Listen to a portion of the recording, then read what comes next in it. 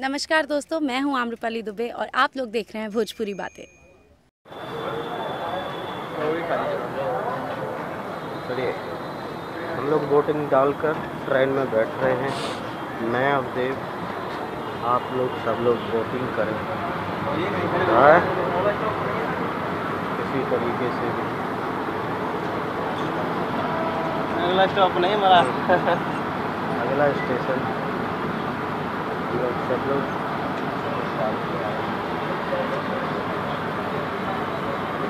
Gym चालू करूँगा।